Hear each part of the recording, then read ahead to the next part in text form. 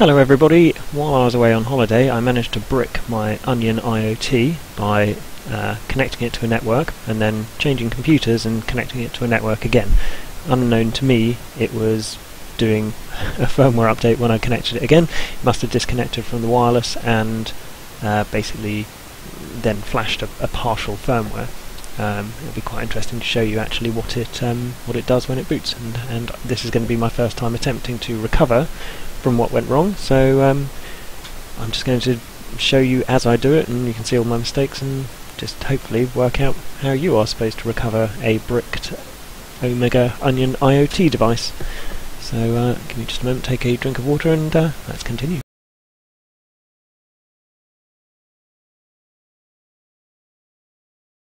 So what I've got here is the Onion device plugged in via mini USB and also with the Ethernet expansion dock plugged into my network. There are ways to do this without the Ethernet expansion dock using um, I think capacitors and soldering onto the pins directly on the Onion device but luckily I have the Ethernet expansion so that makes that bit a whole lot easier. So let's swap over to my virtual machine and also let's see if I can move that over so you can see the Onion device later. Mm, maybe. I'll give up with that. Um, so, first off, get started on the Onion Omega website. Windows, okay, I need the drivers.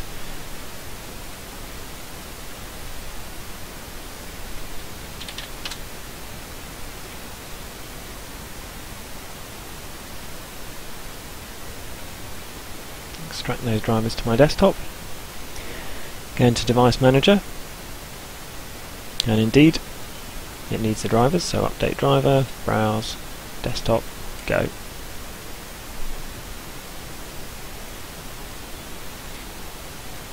Perfect. Take a note of the COM port there, so COM3. Uh, their instructions say you need PuTTY, I also prefer PuTTY, so let's do that.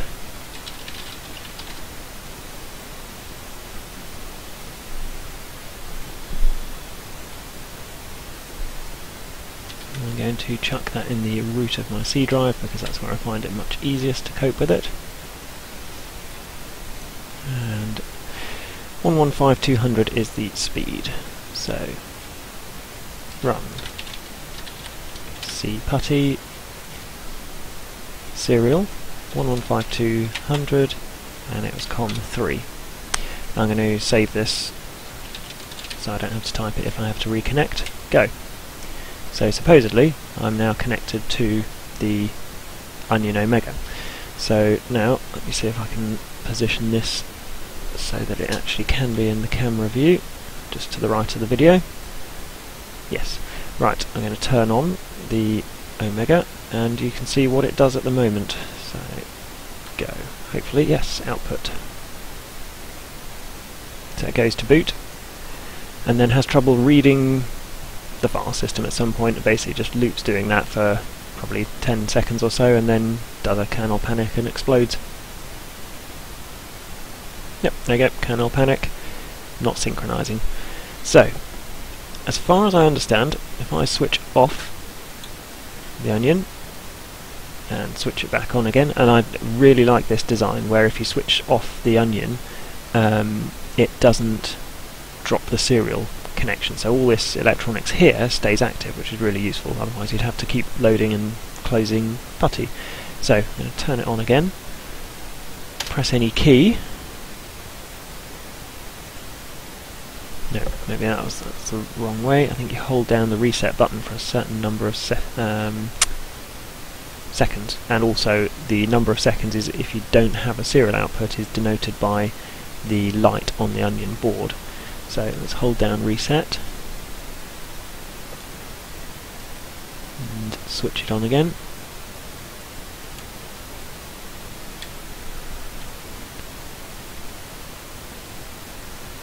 No, I didn't manage to hold down the reset button. Let's try that again.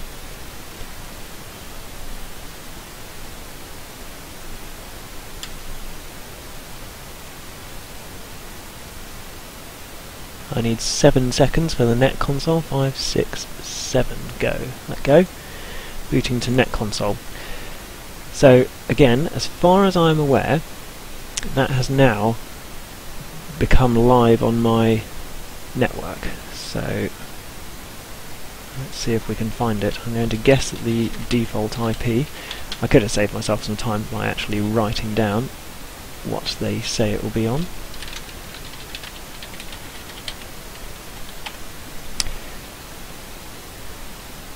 Bad guess, and in fact it might not be net console, it might be the uh, the web fail-safe mode, so let me just try that as well. So switch the onion off, hold down reset, turn it on, I need it for three seconds, so one, two, three, let go. Ah, perfect, it even tells me the IP address, so.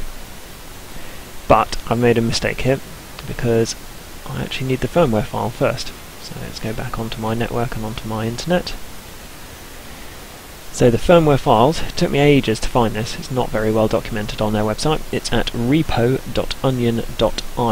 forward slash omega forward slash images.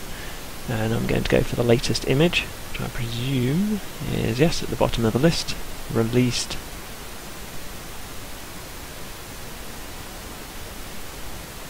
No, maybe not at the bottom of the list. It looks like because of their naming scheme it's ended up in the middle? Hmm. hmm. These upload dates don't make much sense.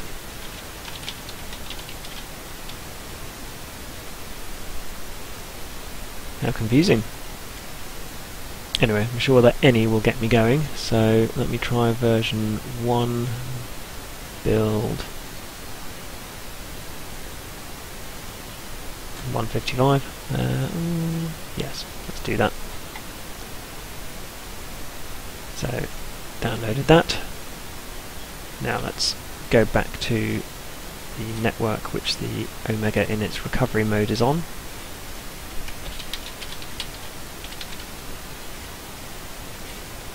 So I should be able to ping 1.1. Indeed I can. Let's try loading that as a web page.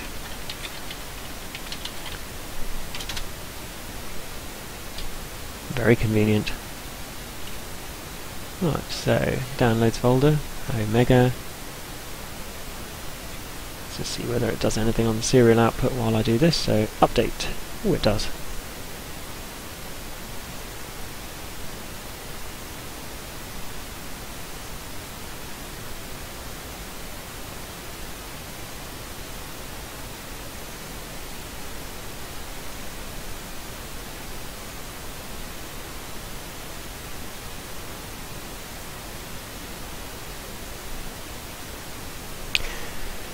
So at least it's uh, well, it's given me an update progress there, and also over serial, it's uh, given me a nice progress bar as well. While it's doing that, it's going to check for rogue add-ons on my virtual machine, which I was testing malware with the other day.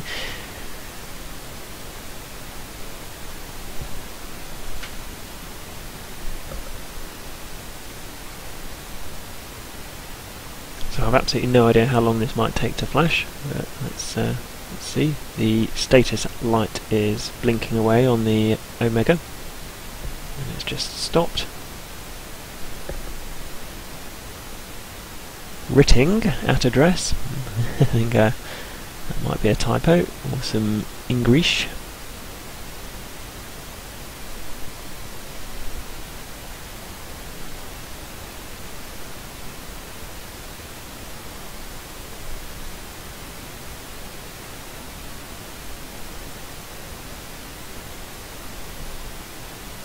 and no whatsoever. Oh, no, there we go, on the serial.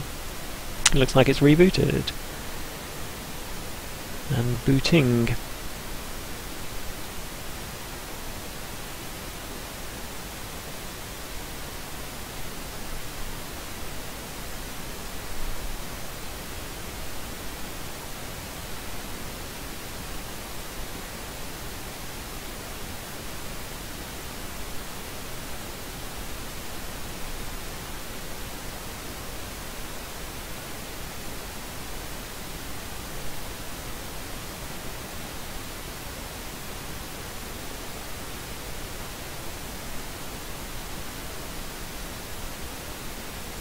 Hmm, okay, looks like I have been successful with that, which is nice, so I just need to make sure that it's on my network when this uh, is finished booting, and then I'll actually run a proper update again and, and uh, just make sure that it brings itself up to the latest console version.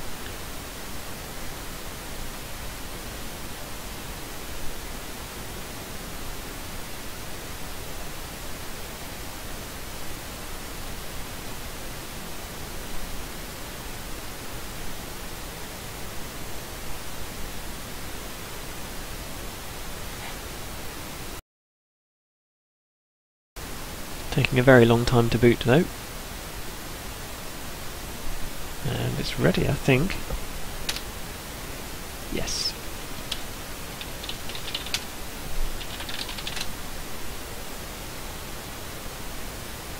Hmm, doesn't seem to have a, a LAN Ethernet address. Um,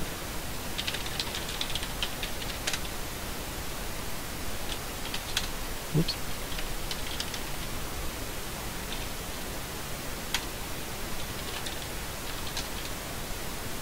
That did, just took a while. Although it needs an IP address.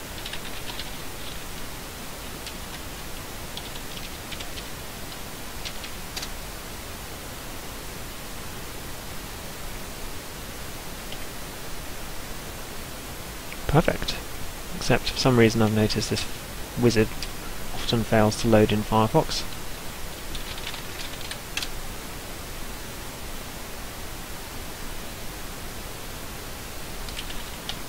Whoops.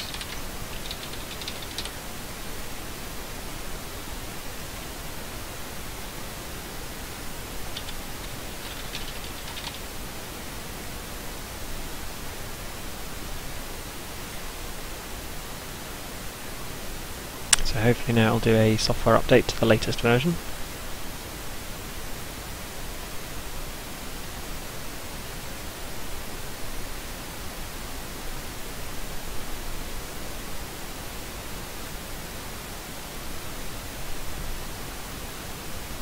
So at this point is where I reconnected to the Wi-Fi uh, when I managed to brick the Onion.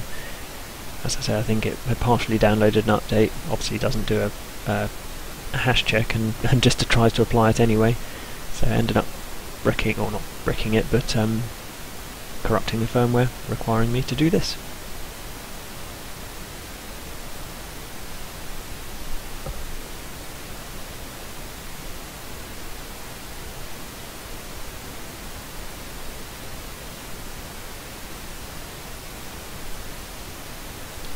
Lot of no obvious status going on here, so there's no output other than on the web browser, there's no output on serial, and the light on the Omega itself is not flashing yet.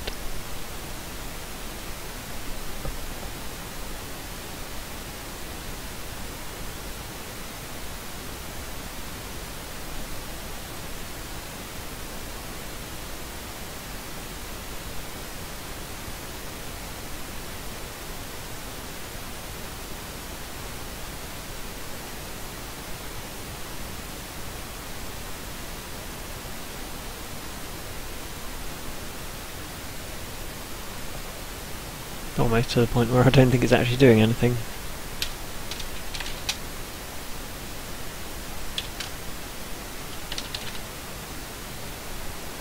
It might be an incredibly old firmware, so could just be that.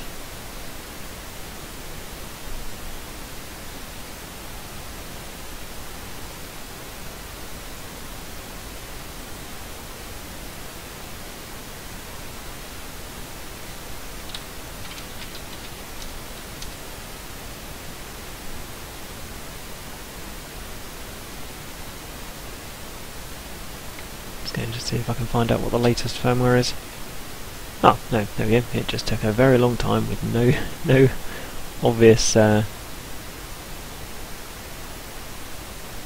status that it was actually doing anything, so it's lucky I didn't unplug the uh, Omega and plug it back in, so um, there we go. If it gets to that stage and there's no, no sign that it's doing anything, just wait longer, because unplugging it probably would have caused further problems at that point.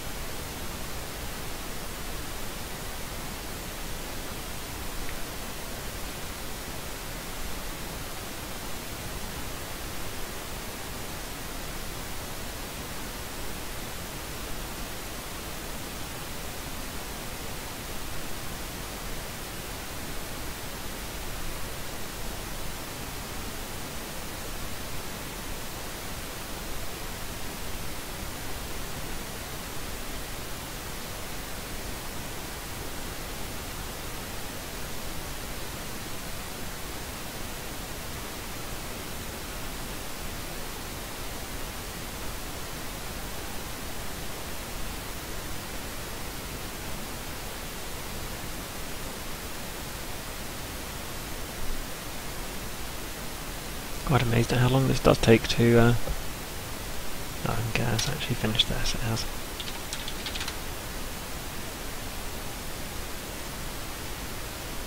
So if I go back onto my IP range and see whether I can get to the Omega via its normal web interface.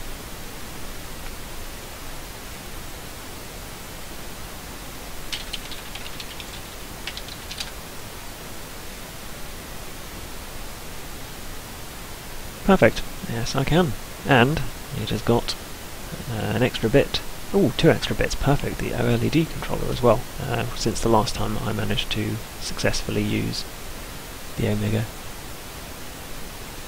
Excellent. They are definitely getting on creating this console. Very, very pleased and uh, eager to see how things progress. I mean, uh, really happy with this Onion device so far as one of the original backers. There you go, a bit confusing with the firmware though because the firmware I downloaded I think said version 1 and apparently they've gone backwards now onto version 0.5 but uh, there you go, at least it still managed to get me out of this situation but for your use you may wish to download uh, that version of the firmware. But I hope this video is helpful for some people and um, enjoy. Hope you manage to debrick your device.